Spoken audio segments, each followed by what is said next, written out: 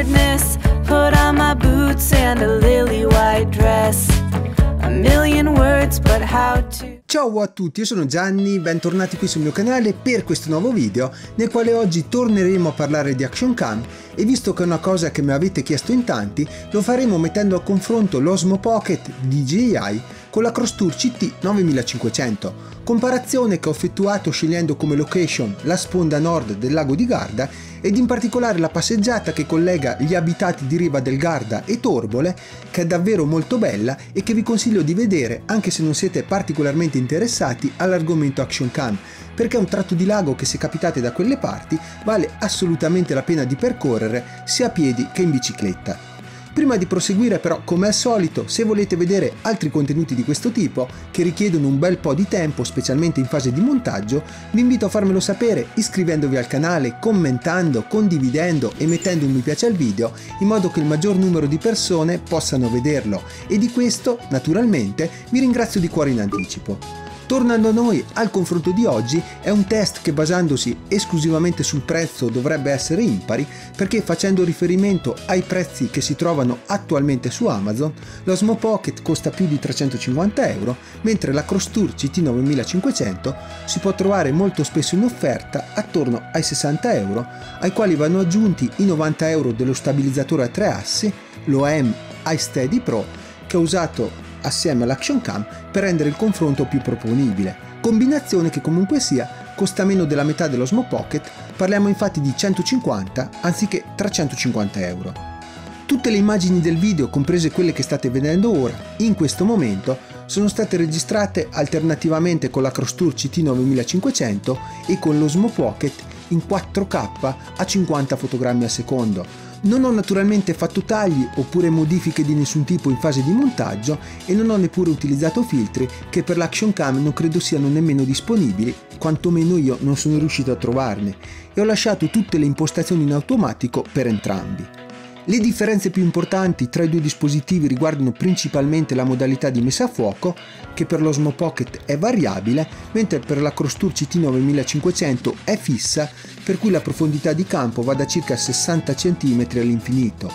Un'altra differenza, come state già vedendo e come vedrete meglio in seguito, è l'angolo di visione che per l'Osmo Pocket è molto più ristretto rispetto a quello della Crosstour.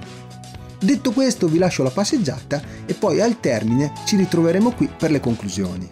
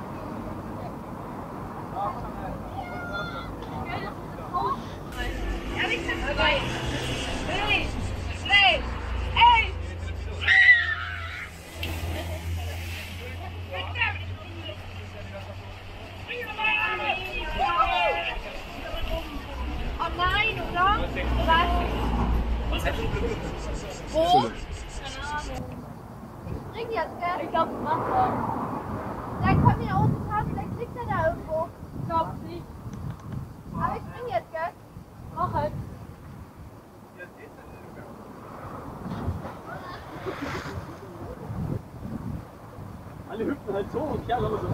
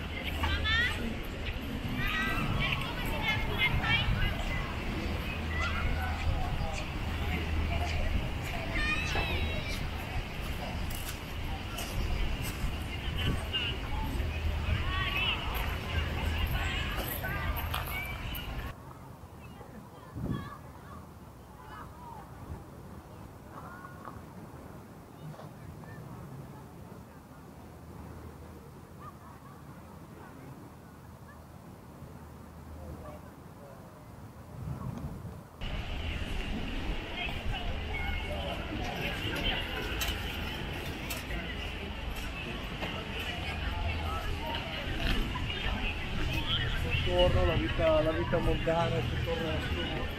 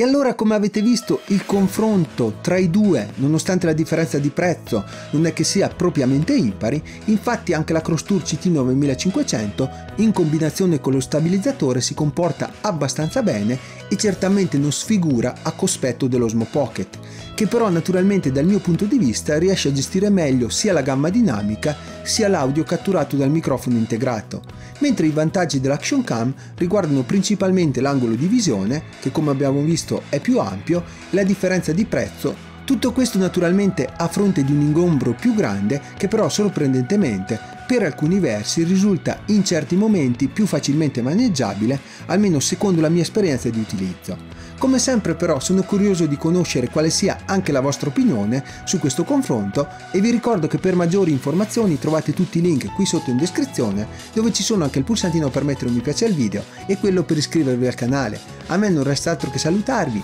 e ringraziarvi per la visione ci vediamo alla prossima. Ciao, da Gianni.